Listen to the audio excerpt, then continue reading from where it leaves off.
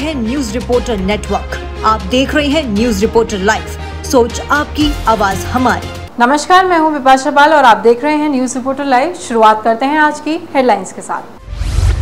अंकिता भंडारी को लेकर पर्यटन मंत्री का बयान, कहा जिस क्षेत्र में अंकिता की हत्या हुई है, उस क्षेत्र में लगातार क्राइम बढ़ रहा है। रक्षा मंत्री राजनाथ सिंह, सेना और आईटीबीपी के जवानों के साथ मनाएँगे विजयदशमी। और शारदीय नवरात्रि के शुभ अवसर पर मुख्यमंत्री धामी बीजेपी प्रदेश कार्यालय में आयोजित कार्यक्रम में हुए शामिल। अब समाचार विस्तार से। पर्यटन मंत्री सतपाल महाराज ने अंकिता भंडारी हत्याकांड के बाद एक बार फिर राजस्व पुलिस को समाप्त, रिज़ल्ट रेगुलर पुलिस को भोगपुर क्षेत्र दिए जाने की पैरवी की है। पर्यटन मंत्री सतपाल महाराज ने कहा कि उनके द्वारा भी विभागीय स्तर पर ऐसे अवैध रिजॉर्ट और होटल का विवरण जमा करने के निर्देश दिए गए हैं, जिसके द्वारा अवैध रूप से कार्य किया जा रहा है। पर्यटन मंत्री सतपाल महाराज ने कहा कि जिस क्षेत्र में अंकिता भंडारी की हत्या हुई है, उस क्षेत्र में लगातार क्राइम बढ़ रहा है। ऐसे में उस क्षेत्र को राजस्व पुलिस से हटाकर रेगुलर पुलिस को दिया जाए, जिससे क्षेत्रीय जनता को अपराध से निजात मिल सके। विपक्ष तो कहता रहेगा विपक्ष का कुछ नहीं है। इस समय एसआईटी की जाँच हो रही है और इस पर कुछ कहना उचित नहीं है क्योंकि जाँच ही बताएगी और निश्चित रूप में दोषियों को सजा मिलेगी। तो क्या सर फांसी की सजा होनी चाहिए आपका क्या जो जो निर्णय होगा कोर्ट का वो सर्वमान्य होगा।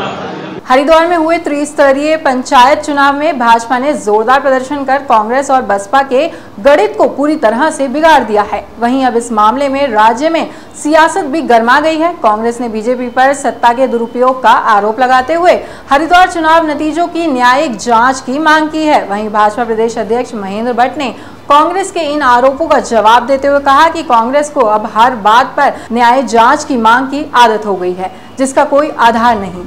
देखिए, हर आजकल हर जगह न्यायिक जाँच चाह रहे हैं ना। और फिर कह रहे हमारे खरीद फरोख्त कर दी।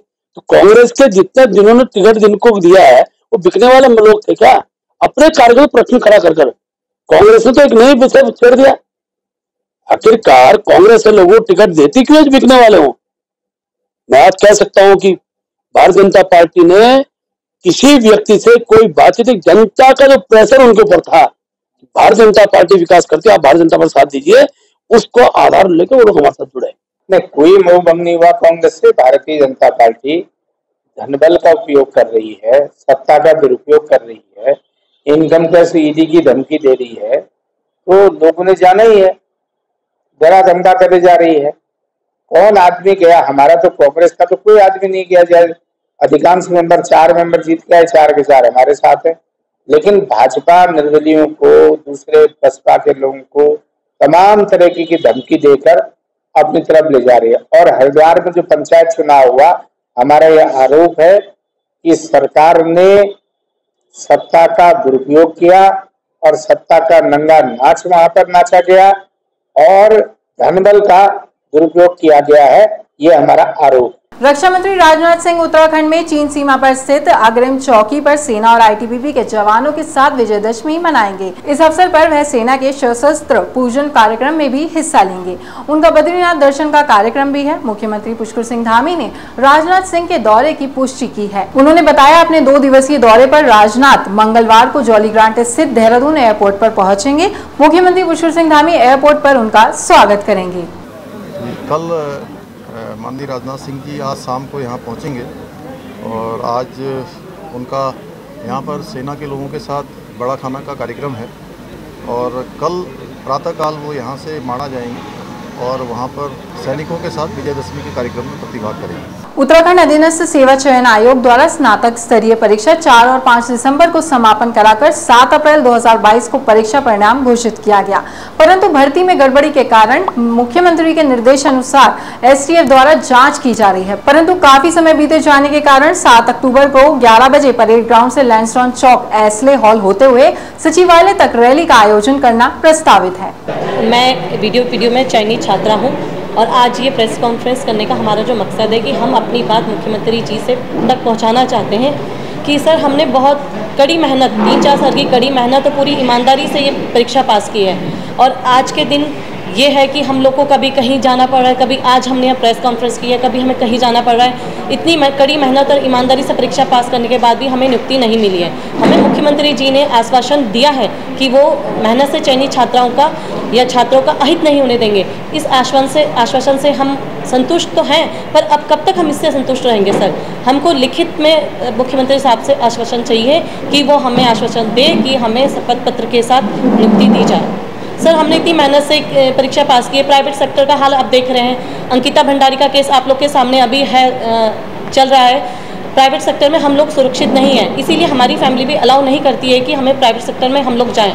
इसलिए हमने तीन चार साल की कड़ी मेहनत से सर इस परीक्षा को पास किया। है और हमें मुख्यमंत्री जी से यही निवेदन है, हाथ जोड़ के मैं उनसे निवेदन करती हूँ कि सर, हमारी बात सुनिए, हम आपके बेटे बेटियाँ हैं, नवरात्रि का माहौल चल रहा है, हम आपकी छोटी बहनें हैं, हमें हमारी मेहनत का फल दीजिए, नहीं तो आगे कोई अंकिता हत्याकांड होता है तो उसकी ज़िम्मेदारी कौन लेगा? बस मेरी यही मुख्यमंत्री जी से गुहार है। शारदीय नवरात्रि के शुभ अवसर पर मुख्यमंत्री पुष्कर सिंह धामी बीजेपी प्रदेश कार्यालय में आयोजित कार्यक्रम में शामिल हुए, जिसमें रामनवमी के दिन हवन कार्यक्रम आयोजित किया गया और पार्टी कार्यकर्ताओं ने भी इस हवन कार्यक्रम में आहुतियाँ दी। मुख्यमंत्री पुष्कर सिंह धामी ने कहा कि राज्य की खुशहाली के लिए, राज्यवासियों की समृद्धि के लिए उनके द्वारा माता से मनोकामनाएँ की गई हैं। बीजेपी प्रदेश अध्यक्ष महेंद्र भट्ट ने कहा कि पार्टी हिंदू परंपरा के अनुरूप आज रामनवमी के दिन हवन कार्यक्रम आयोजित करती है। उसी क्रम में पार्टी के प्रदेश कार्यालय में यह कार्यक्रम आयोजित किया गया था, जिसमें मुख्यमंत्री धामी, पार्टी के वरिष्ठ नेता और पार्टी कार्यकर्ता भी सम्मिलित हुए। आज रामनवमी का पर्व है और सभी कन्याओं का पूजन किया है। माँ भगवती का स्मरण किया है कि माँ, हम सब पर कृपा करें। भगवान की हम सब पर कृपा हो, हमारे राज्य पर कृपा हो। हर प्रकार से विघ्न बाधाएँ सारे दोष दूर रहें। प्रदेश की उत्तरोत्तर प्रगति प्रगति हो, गति बढ़े, उन्नति बढ़े और भगवान की हम सब पर कृपा बनी रहे। उसी के निमित्त आज यहाँ पर हवन पूजन किया गया है। मैं सभी को आज रामनवमी पर्व की बहुत शुभकामनाएँ देता हूँ, बहुत बधाई देता हूँ। नवरात्रों का त्यौहार हमारे बहुत एक प्रकार से मैं कहूँगा कि श्रद्धा का विषय भी है। माता के नौ अवतारों का मिश्रण करते हैं और आज रामनवमी के दिन हमने अपनी संस्कृति के अनुसार यज्ञ किया और कन्याओं का पूजन किया। प्रदेश के अंदर सुख शांति बनी रहे, ऐश्वर्य बना रहे। इसके लिए हमने उत्तराखंड के सभी देवी देवताओं का अनुसरण करते हुए हवन में आहुति दी। राष्ट्रव्यापी टीकाकरण अभियान के अंतर्गत अब तक 218 करोड़ 80 लाख से अधिक कोविड टीके लगाए जा चुके हैं।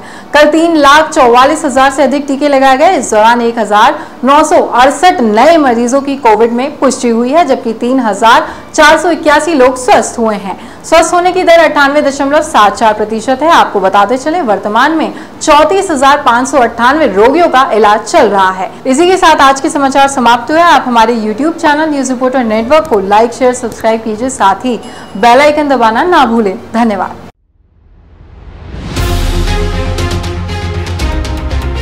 ये है न्यूज़ रिपोर्टर नेटवर्क आप देख रहे हैं न्यूज़ रिपोर्टर लाइव सोच आपकी, आवाज़ हमारी।